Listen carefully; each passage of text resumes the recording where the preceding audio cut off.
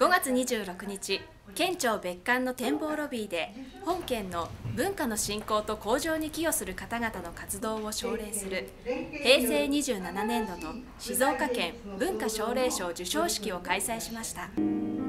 今年度の受賞者は藤枝市出身で映画やテレビ番組 CM などで数々のヒット曲を手掛けるなど幅広い活躍を見せる音楽家の松谷すみれさん国内外で幅広い演奏活動を展開する静岡市出身在住のチェンバロ奏者戸崎博乃さん。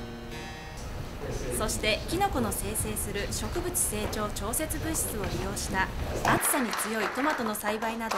地域の農業に役立つ実証研究に取り組んでいる県立富学館高等学校農業クラブの皆さんです。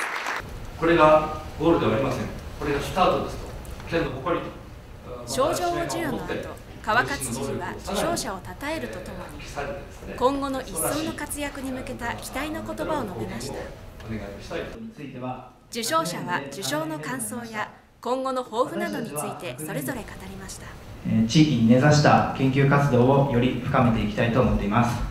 私を育ててくれたこの静岡に恩返しの気持ちも込めてチェンバロの魅力を皆さんに知っていただきたいと思ったこと。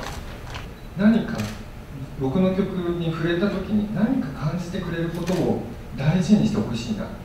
そういう思いでずっといる。んです